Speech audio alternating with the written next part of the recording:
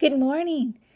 You know, I've been thinking, uh, God makes us all unique and all different.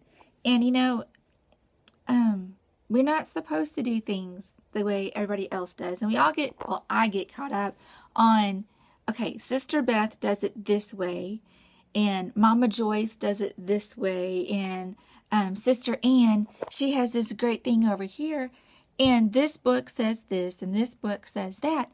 Well, um, you know, of course we are supposed to get the word of the Lord into our hearts and down into us. Of course we're supposed to do that. And I'm not suggesting we're not. What I'm saying is once you've studied and you've studied and you've studied, and then it's like, okay, how do I, because all this time I'm like, well, how do I know when I've studied enough? How do I know when it's time to to spread what I've studied?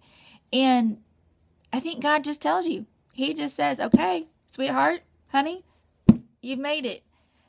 You've studied on this subject enough. Because I was looking and I'm like, because Beth's always spreading. She's always spreading stuff. But Sister Beth has always.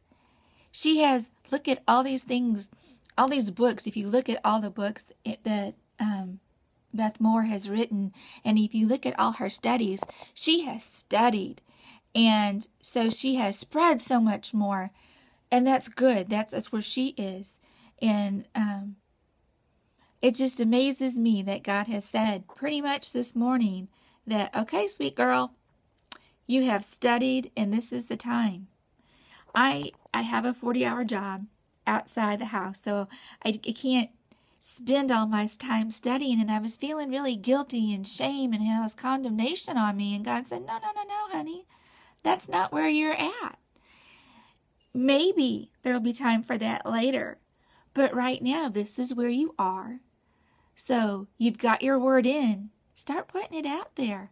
Start sharing. Start spreading what I've I've told you, what what you've gained from my word.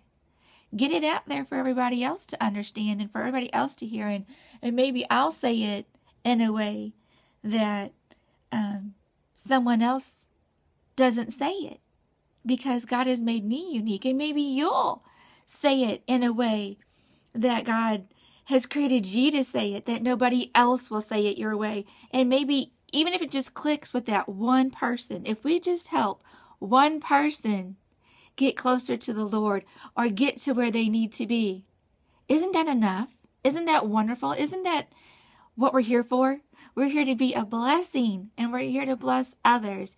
And if we just help just that one person, oh my goodness. And if that's the one person God has for us to reach, I know what I want to hear when I see the Lord is well done, good and faithful servant. And um, yeah, one person so worth it. So get out there, study, do what God has.